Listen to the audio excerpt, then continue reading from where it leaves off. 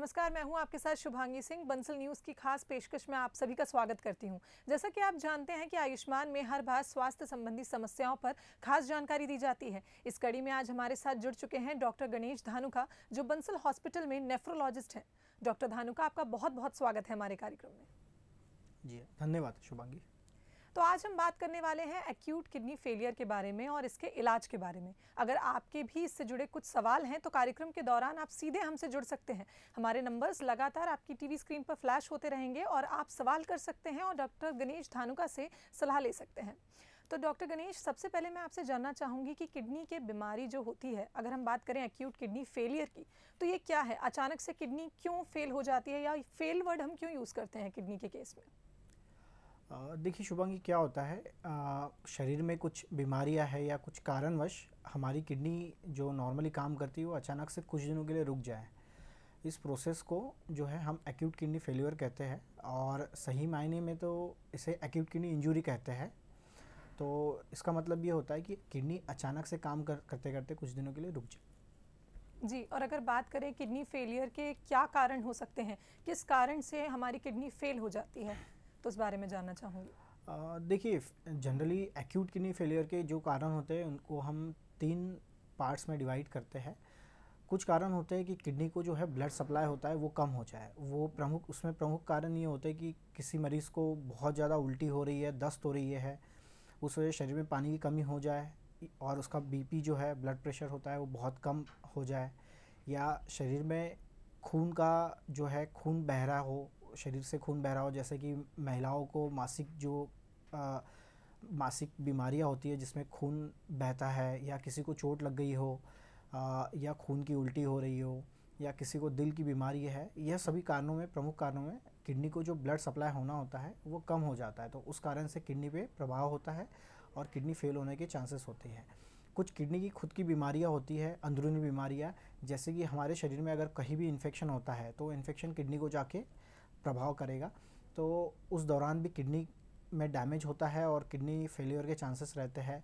या फिर आपको मलेरिया है, डेंगू है, यह बीमारी हो जाती है, उसमें भी शरीर में इन्फेक्शन की वजह से किडनी पे प्रभाव हो सकता है। कुछ बीमारियाँ होती है, जैसे कि किसी को चोट लग जाती है तो हमारी मसल्स इंजरी होती है तो मस हमारे जब मांसपेशियों में चोट लगती है तो उसमें से कुछ द्रव निकलते हैं, रसायन निकलते हैं, जो जाके किडनी को डैमेज करते हैं। या कुछ दवाइयाँ होती है जो हम खाते हैं किडनी में जाके असर करती है। और कुछ इम्यूनोलॉजिकल बीमारियाँ होती है किडनी की, जो किडनी को डैमेज करती है वह अलग अलग रूप में दिखती है। तीसरे कारणों, प्रमुख कारणों में आता है कि किडनी जो मूत्राशय है हमारा, किडनी से निकल के नीचे जाता है, उसके रास्ते में रुकावट। तो रुकावट के प्रमुख कारण होते हैं कि पथरी, किडनी से लेकर हमारे मूत्र नलिका तक कहीं भी अगर पथरी अटक जाती है तो वो किडनी को डैमेज कर सकती है। किसी को मूत्राशय का कैंसर हो, जैसे कि आ, हमारे पेशाब की थैली हो गई है प्रोस्टेट हो गई है इन इनमें अगर रुकावट है तो इनके वजह से भी किडनी फेल होने की शक्यता रहती है। जी डॉक्टर हमारे साथ कॉलर जुड़ चुके हैं छिंदवाड़ा से बाबू। जी आप पूछ सकते हैं सवाल डॉक्टर गणेश से। नमस्कार। हाँ नमस्कार बताइए आपका सवाल। सर ये मेरे यहाँ पापा को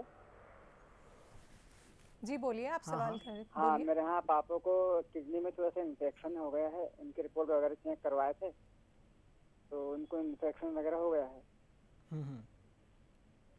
अच्छा। जी। तो आपने किसी डॉक्टर से सलाह ली है इन्फेक्शन के लिए? हाँ सलाह वगैरह सलाह वगैरह तो लिए हैं दवाई वगैरह दिए हैं तो ऐसा कुछ समझ में नहीं आ पा रहा है उनको उल्टी वगैरह बहुत उकार बहुत आती है। अच्छा। बहुत ज़्यादा उकार आती है हाँ। ठीक है। देखिए, क्या है अगर उनको ये जो समस्या आप बता रहे हैं, ये है और किडनी में, पेशाब में इन्फेक्शन भी है तो ज़रूर इस इन्फेक्शन की वजह से जो लक्षण आप बता रहे हैं किडनी पे प्रभाव पड़ा होगा इसके लक्षण हैं। तो मेरी आपसे सलाह रहेगी कि आप, एक तो आपके आसपास जो भी नेफ्रोलॉजिस्ट है, उनसे आप मिलिए, इसका प्रॉपर जाँच करवा कर इलाज करवाना बहुत ज़रूरी है, ताकि आपको भविष्य में आपकी किडनी को कोई खतरा ना हो। और अगर वहाँ कोई डॉक्टर आपको ना मिले तो आप हमारे अस्पताल भी आ सकते हैं बंसल अस्पताल। यहाँ हमारी बहुत बड़ी टीम है नेफ्रोलॉजी की तो हम इसका प्रॉपर उपचार कर सकते हैं। जी डॉक्टर अगर बात करें एक्यूट किडनी फेलियर की तो ये एक्यूट वर्ड हम क्यों यूज़ करते हैं जब हम किडनी फेलियर के बारे में बात कर रहे हैं? देखिए शुभांगी क्या होता है किडनी फेलियर दो प्रकार का होता है। एक होता है जो अचानक से हुआ है और कुछ दिनों के लिए होता है और एक होता है जिसे हम कॉमनली क्रोनिक किडनी डिसीज़ कहते हैं। तो इस वर्ड में हम एक्यूट इसलिए यूज़ करते हैं कि ये अचानक से होता है। एक्यूट का मतलब होता है अचानक और कुछ दिनों के लिए, जो कि कुछ दिनों बाद में आपकी किडनी अगर आपने प्रॉपर इलाज इसका करवाया है, इसका निदान अगर समय पर हो जाता है तो आपकी किडनी दोबारा नॉर्मल गति में काम करने लगती है। इसलिए हम इस कंडीशन में एक्यूट वर्ड यूज़ करते हैं। जी, और अगर बात करें लक्षण की कि क्या लक्षण देखने को मिलते हैं जब किसी की किडनी फेल हो जाती है तो वो मैं आपसे जानना चाहूँगी। देखिए एक्यूट किडनी इंजरी अगर किसी व्यक्ति को होती है तो अचानक से उनकी किडनी काम करना बंद कर देती है। तो उस समय जो हमारे बॉडी में संतुलन होता है कि किडनी के द्वारा जो पर्याप्त अधिकतम मात्रा में जो यूरिया क्रिएटिनिन होता है सोडियम है पोटेशियम है एसिड कहिए या पानी कहिए, यह निकलता है। तो जब किडनी फेल हो जाती है तो ये शरीर से बाहर निकल नहीं पाते तो संतुलन में दिक्कतें होती है। तो उस वजह से मरीज़ को उल्टी आना, जी मचलाना, भूख की कमी होना, ये लक्षण दिख सकते हैं।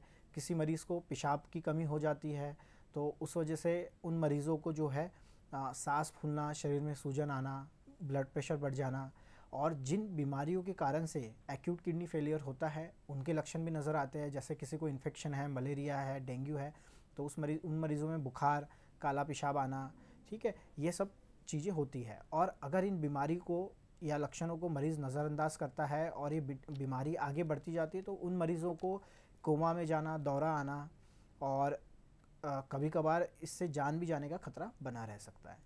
जी, और अगर उपचार की बात करें तो क्या क्या पहले सबसे पहले अगर बात करें टेस्ट की, उपचार से पहले हम ये देखें कैसे हमें पता चलेगा कि हमारी किडनी फेल हो गई है? कोई टेस्ट होता है या सिम्टम्स के ही आधार पे हो जाता है, ये पता चल जाता है कि हम एक्यूट किडनी फेलियर से ग्रसित हैं। देखिए क्या है अगर मरीज़ को जैसे मैंने बताया उस तरीके के अगर लक्षण मिलते हैं और उनको जो बीमारी या प्रमुख कारण मैंने बताया कि किडनी फेल होने के प्रमुख कारण हैं ये कारण अगर पता चलते हैं तो आप आ, अगर आपके डॉक्टर से मिलना चाहिए मेरी सलाह आपको ये है और अगर यह लक्षण है इसके बेसिस पे हम कुछ ब्लड टेस्ट यूरिन के टेस्ट और अल्ट्रासाउंड करते हैं तो खून की जांचों में अगर हमें आ, यूरिया क्रिएटिनिन की मात्रा अगर बढ़ी हुई मिलती है पोटेशियम आपके शरीर में बढ़ा हुआ है एसिड अगर बढ़ा हुआ है तो यह संकेत देते हैं कि आपकी किडनी में डैमेज है। आ, अगर आपका पेशाब का जाँच हम करते हैं पेशाब की जाँच में अगर प्रोटीन की मात्रा ज़्यादा आ रही है इन्फेक्शन मिल रहा है पेशाब के रास्ते में या आपके पेशाब से खून जा रहा है तो यह भी एक संकेत देते हैं कि आपकी किडनी में कहीं ना कहीं डैमेज हुआ है। और कुछ जाँचें होती है जो अल्ट्रासाउंड जिसे हम कहते हैं अल्ट्रासाउंड पेट का करते हैं उसमें भी हमें यह पता चल जाता है कि किडनी में कितना डैमेज है कितना नहीं है। उस बेसिस पे हम ट्रीटमेंट स्टार्ट कर सकते हैं। जी डॉक्टर हमारे साथ एक कॉलर जुड़ चुके हैं भोपाल से। जी आप सवाल कर सकते हैं। हेलो। जी आपकी आवाज़ आ रही है फ़रा आप सवाल कर सकती हैं। जी सर मैं मुझे अभी सात आठ महीने से मेंसेस प्रॉब्लम हो रही थी मुझे पीरियड नहीं आ रहा था तो मैंने टेस्ट करवाया तो उसमें मुझे किडनी की प्रॉब्लम बताई है उसमें मेरा creatinine level urea uric acid और एल्बुमिन लेवल सब बढ़ा हुआ है। और क्या है, मुझे साइलेंट दे जाती है और मेरा बीपी बढ़ा रहता है। तो मुझे मतलब मैं क्या खाऊं, क्या ना खाऊं और मतलब किस तरह से वाटर इनटेक में, यही मैं पूछना चाह रही थी। वो मेडिसिन में क्या लेना चाह, क्या ले सकती हूँ? देखिए फरा, आपकी सभी जो समस्या है, इसका जवाब तो मैं इस लाइव टीवी शो में नहीं दे पाऊँगा। लेकिन मैं आपको एक सलाह देना चाहूँगा, अगर आपको सी की प्रॉब्लम डायग्नोज हो चुकी है तो आप आपके नज़दीक पास में जो भी नेफ्रोलॉजिस्ट हैं, उनसे मिलिए। उनसे आप मिलकर ये समझिए कि आपको बीमार, किडनी की बीमारी क्यों हुई है, उसका प्रमुख कारण क्या है। और वो जानने के बाद वही आपको बता पाएँगे कि आपने क्या खाना चाहिए, क्या परहेज़ रखना चाहिए बीपी के लिए दवा क्या है, आगे इसका इलाज कैसे होगा। अगर आप भोपाल में रहती है तो आप हमारे अस्पताल आके हमें ओपीडी में मिल सकती है। जी फ़रा तो मुझे लगता है आपको, आपके सवाल का जवाब मिल गया होगा और जैसा डॉक्टर ने कहा है, आप बिल्कुल उन चीज़ों को फॉलो करें। डॉक्टर गणेश, अगर मैं बात करूँ उपचार की तो एक्यूट किडनी फेलियर का उपचार किस तरह से होता है और जो मॉडर्न टेक्निक्स हैं, क्या उनका भी उपयोग होता है? क्या ऐसी कोई मॉडर्न टेक्निक्स आई है जिससे एक्यूट किडनी फेलियर का जो उपचार है, वो सेफ़ तरीके से हो सके? देखिए शुभांगी एक्यूट किडनी फेलियर में मरीज़ को जैसे संकेत हमने बताया है और कुछ निदान के हमने जांचें बताई है, ये जांचें करने के बाद अगर आप इस चीज़ का इलाज करवाते हैं तो मुझे ऐसा लगता है भविष्य में होने वाला किडनी डैमेज का जो खतरा है और जान का खतरा, इसे आप टाल सकते हैं। अगर आप इलाज ना करवाओ तो हो सकता है ये आपकी, आपके लिए जानलेवा भी हो सकती है ये बीमारी। तो इसके इलाज को हम जनरली चार पार्ट में डिवाइड करते हैं। पहला पार्ट ये होता है कि जिन बीमारियों के कारण आपकी किडनी ख़राब हुई है, आपको एक्यूट किडनी फेलियर हुआ है, उन बीमारियों का इलाज करिए। उसके मूल कारण को हमें ट्रीट करना बहुत ज़रूरी होता है। जैसे आपको उल्टी दस्त हो रहा है तो उसका प्रॉपर इलाज होना चाहिए। आपको उस समय पे कुछ सलाइन की बॉटल अगर चढ़ा दे डॉक्टर और आपको उसका प्रॉपर इलाज करे तो हो सकता है किडनी आपकी जो ख़राब हुई है, वो रिकवर हो किसी को अगर इन्फेक्शन है, डेंगू मलेरिया है, इसका प्रॉपर इलाज होना बहुत ज़रूरी है। कुछ इम्यूनोलॉजिकल बीमारियाँ होती है जो सीधे किडनी पे प्रभाव डालती है तो उनका एक प्रॉपर निदान होने के बाद उसका इलाज अगर होता है तो भविष्य में जो किडनी का डैमेज होने का और ख़तरा होता है या डायलिसिस की ज़रूरत है ये हम टाल सकते हैं।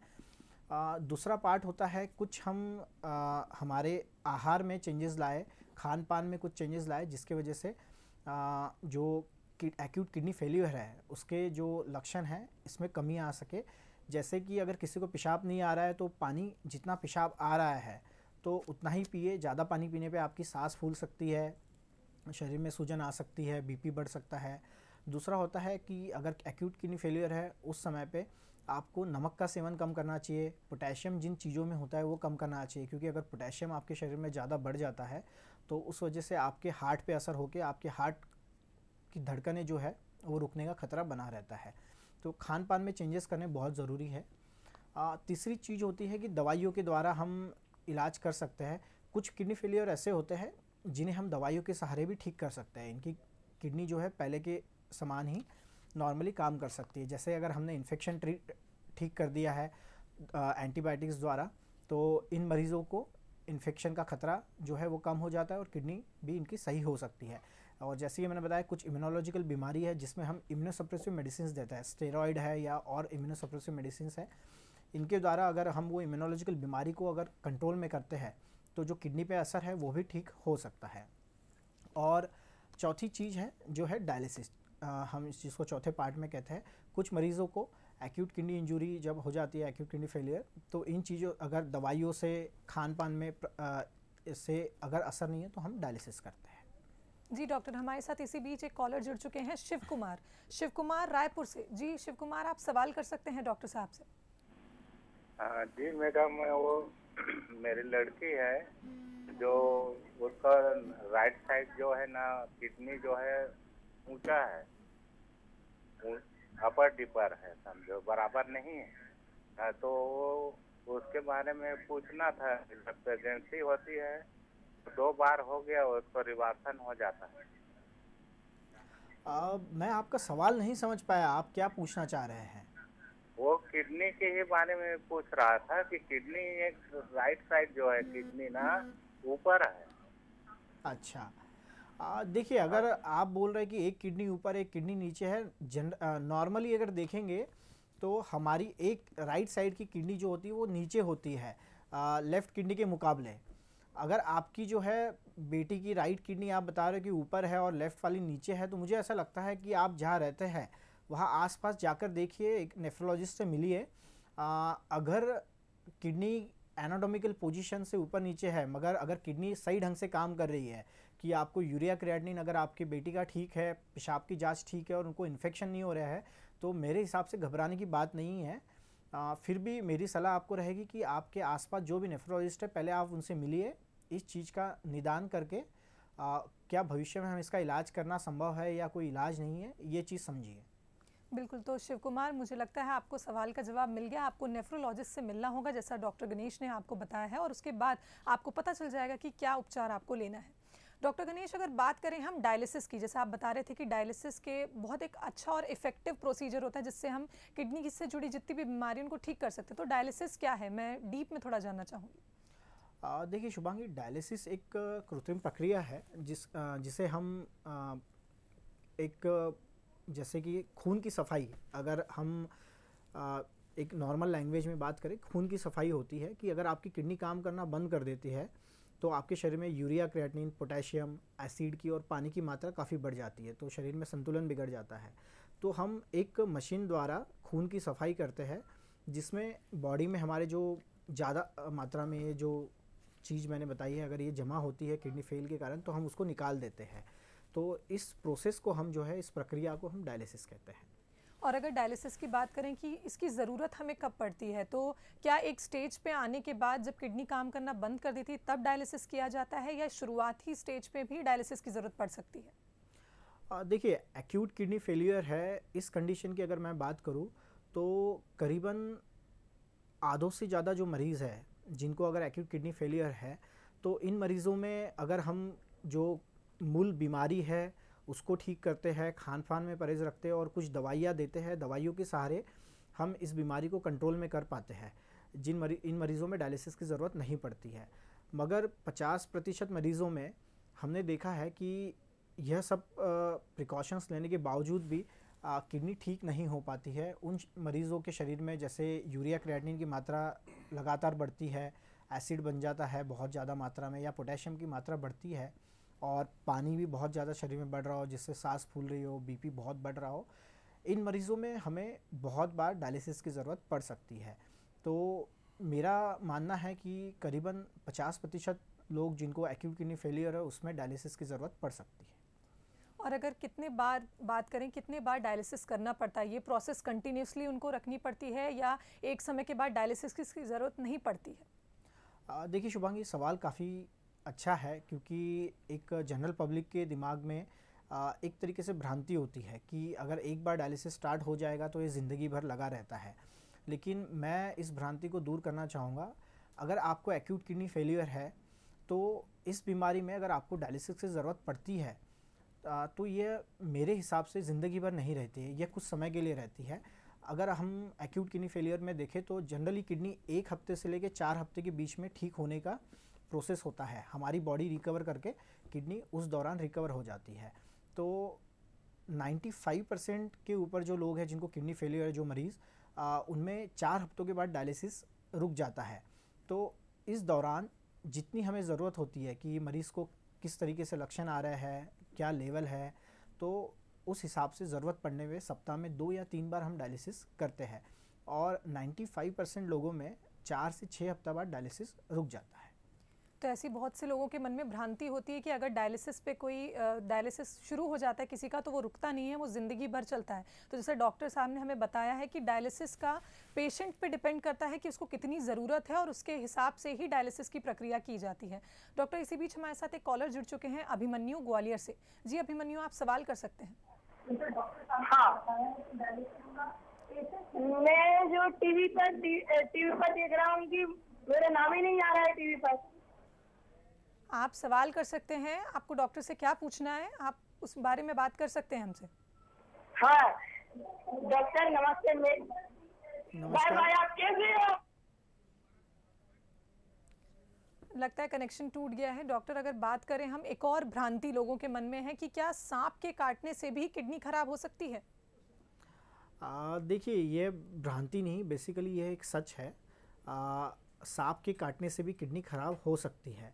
आ, तो मैं सबसे पहले तो ये बता दूँ देखिए सांप जब काटता है कोई जहरीला सांप तो उनका जो जहर होता है वो दो प्रकार का होता है। एक जहर जो होता है जो हमारे जाके दिमाग में काम करता है जिसे हम न्यूरोटॉक्सिक कहते हैं। तो उस जहर उस सांप के काटने से मरीज़ बेहोश हो जाता है कोमा में चला जाता है। एक जहर होता है जिसे हम हिमेट हिमोटॉक्सिक कहते हैं जो जाके हमारी रक्त कोशिकाओं पे काम करते हैं और उस जहर के असर से जो हमारी रक्त कोशिकाएँ होती है वो टूटने लगती है। और अगर लगातार उस जहर का असर हमारे शरीर में बना रहता है तो जो रक्त कोशिकाएँ टूटती है, वो जाके हमारे किडनी में जमा हो जाती है। किडनी में फ़िल्टर होता है खून तो वो जाके वहाँ जमा हो जाती है और उन जमा हुई रक्त कोशिकाओं के कारण किडनी की फ़िल्टर करने की जो क्षमता होती है, वो कम हो जाती है और उसी कारण से हमारी किडनी फेल हो जाती है। तो अमूमन हमने देखा है कि बहुत सारे मरीज़ हैं जिनको सांप काटा है और वो भर्ती होते हैं। तो इन मरीज़ों में चार से पाँच दिन बाद किडनी फेलियर के लक्षण पाए जाते हैं और अचानक से उनका पेशाब रुक जाता है। जी डॉक्टर हमारे अगले कॉलर जुड़ चुके हैं मंदसौर से। वीरेंद्र जी जी वीरेंद्र जी आप सवाल कर सकते हैं डॉक्टर से। हाँ जी सर डॉक्टर सर नमस्कार सर। आ, नमस्कार वीरेंद्र जी। सर मेरी प्रॉब्लम ये है कि मेरे सर ऑपरेशन हुआ था सर सिर का वो पीटीसी ट्यूमर का। हम्म, हम्म। हाँ जी सर। तो जब से मेरे को बाथरूम बहुत आता है तो उसके लिए भी मेरे को कोई दिक्कत है क्या? अच्छा। देखिए वीरेंद्र जी आप बता रहे आपका सर का ऑपरेशन हुआ था आ, कुछ बीमारी के लिए और उसके बाद आपको बाथरूम आता है। तो कितना बाथरूम आता है आपको दिन भर में? कुछ बता पाएँगे? कितना बाथरूम आता है आपको दिन भर में? चौबीस घंटे में कितना पेशाब? बाथरूम मतलब जैसे अपन आता तो ज़्यादा ही है मतलब जब अपन पानी पीते हैं फिर बाथरूम जाना है बार बार बाथरूम जाना पड़ता है। देखिए, बहुत बार जब ब्रेन का ऑपरेशन होता है तो उस दौरान हमारे ब्रेन में कुछ कंट्रोल सेंटर होते हैं, जो पेशाब को कंट्रोल करते हैं, ये डैमेज होते हैं। तो उस वजह से एक बीमारी होती है, जिसे हम डायबिटीज़ इंसिपेडस कहते हैं, जिसमें मरीज़ को दिन भर तीन से चार लीटर के ऊपर पेशाब आता है। तो अगर आपको पेशाब बहुत मात्रा में आ रहा है तो मेरी आपको सलाह रहेगी कि इस बीमारी का निदान और उपचार आप करवाएँ, ज़रूर। हो सकता है कि पानी पीने से, ज़्यादा पानी पीने से भी आपको ज़्यादा पेशाब आ रहा हो, आपको बीमारी ना हो। लेकिन फिर भी आप निकटतम जो नेफ्रोलॉजिस्ट है, उनसे सलाह लीजिए, या आप हमारे अस्पताल भी आ सकते हैं। जी, डॉक्टर तो अगर बात करें हम रिस्क फैक्टर की, रिस्क फैक्टर की बात करें, क्योंकि कई तरीके के, जैसे आपने कहा कि कोई हार्ट का पेशेंट है, या कोई डायबिटिक पेशेंट है तो उनका भी एक्यूट किडनी फेलियर होने के चांसेस बढ़ जाते हैं। तो मैं जानना चाहूँगी, क्या एज भी डिपेंड करती है रिस्क फैक्टर्स जितने भी होते हैं एक्यूट किडनी फेलियर के, वो मैं आपसे जानना चाहूँगी। देखिए शुभांगी एज बहुत इंपॉर्टेंट फैक्टर होता है किसी भी बीमारी में। आ, अगर आ, कोई जवान व्यक्ति है और उसके कंपैरिजन में अगर हम किसी ओल्ड एज व्यक्ति को लेते हैं और अगर इनको कोई बीमारी होती है जो मैंने फैक्ट बीमारियाँ बताई जिससे किडनी डैमेज होती है तो किडनी ख़राब होने का रिस्क जो है वो बूढ़े व्यक्ति में ज़्यादा होता है एज़ कंपेयर टू किसी जवान व्यक्ति में क्योंकि इनके शरीर में इम्यूनिटी नहीं होती है जितनी होनी चाहिए और बीमारी को रोकने की क्षमता भी कम होती है। तो उसी हिसाब से किडनी डैमेज का खतरा भी बूढ़े व्यक्तियों में बढ़ जाता है। जी डॉक्टर हमारी अगली कॉलर सोनम जुड़ चुकी हैं देहरादून से। जी सोनम जी आप सवाल कर सकती हैं।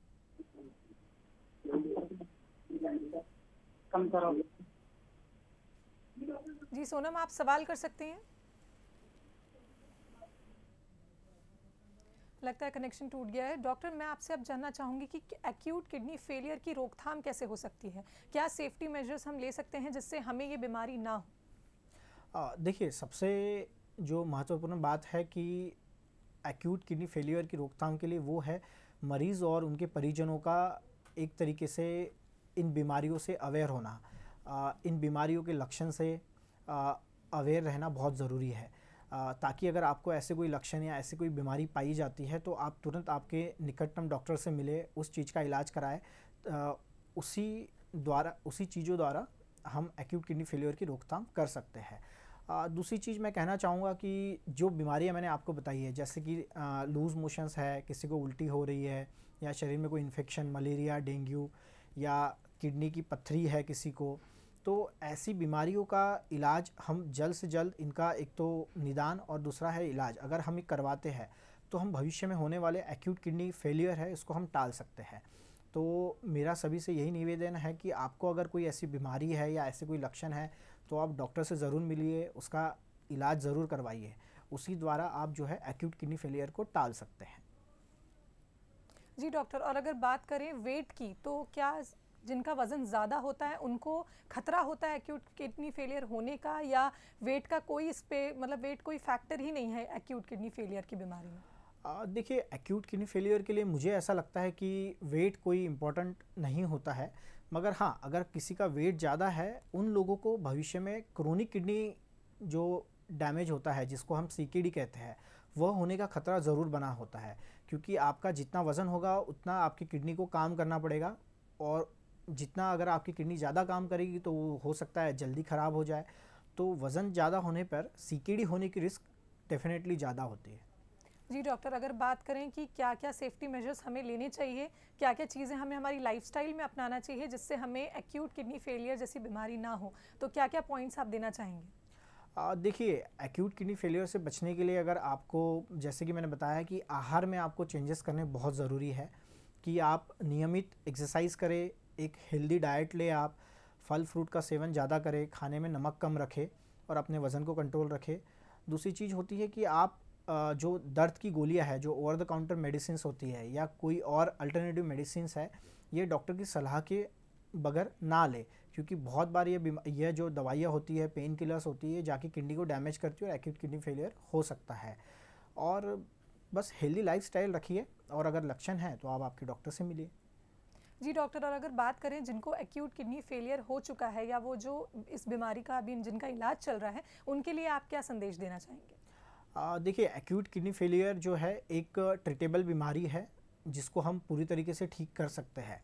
मगर इसको सही समय पे अगर हम निदान करते हैं और सही इलाज लेते हैं तो ये बीमारी ठीक होने जैसी है। आपकी किडनी जो है चार छः हफ़्ते में बिल्कुल दोबारा अच्छे से काम कर सकती है। तो इस बीमारी को हल्की में ना ले। अगर आपको कोई भी सिम्टम्स है कोई लक्षण दिखते हैं तो आप आपके डॉक्टर से ज़रूर मिले और इसका इलाज कराइए।